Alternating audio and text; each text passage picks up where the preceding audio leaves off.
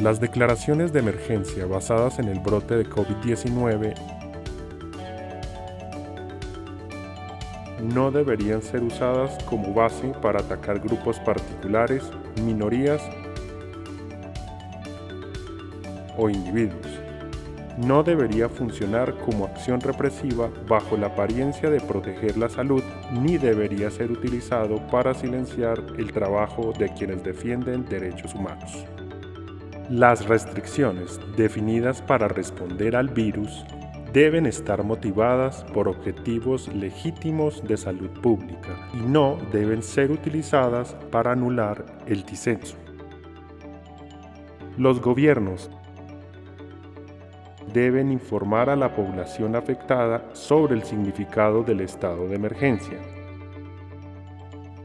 dónde se aplica y por cuánto tiempo se supone que estará en vigor. Oficina de la Alta Comisionada de las Naciones Unidas para los Derechos Humanos.